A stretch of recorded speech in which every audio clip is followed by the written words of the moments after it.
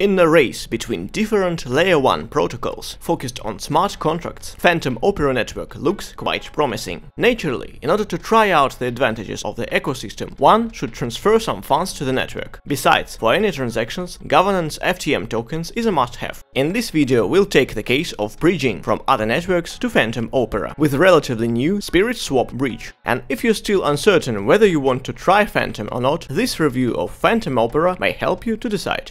Okay, time for the hero of the day. Why this bridge is special? The answer is simple. It's more convenient to bridge other tokens than FTM, but you still need FTM right away for transaction fees. SpiritSwap Bridge has an automatic faucet that solves that problem. If a wallet had no previous transactions in Fantom Network, you get 0.4 FTM automatically when you bridge any tokens to Fantom. Let's try this. We go to SpiritSwap Finance website. Here's the bridge.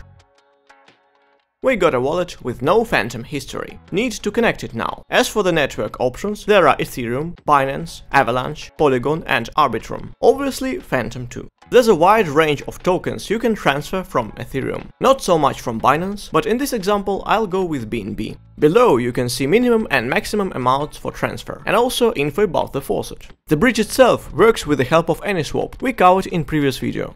Here we go, confirm transaction, and after it's validated, the promised Fantom tokens appear in the wallet very fast.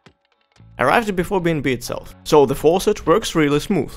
But token transfer can take a bit longer, as it goes through the bridge. I'll cut the waiting, it took about 15 minutes for my BNB to arrive. Still, it's a decent instrument and one of the easiest options to get to Fantom Network. What to do next? Hmm, let me invite you to Potluck Protocol. Get some Fantom and Fang and stake it with awesome APR. There are also special events in Bedbox with different tokens to earn. Please don't hesitate to drop a like and subscribe if this video was useful. Besides, check this Fantom review to get a better picture of ecosystem's prospects.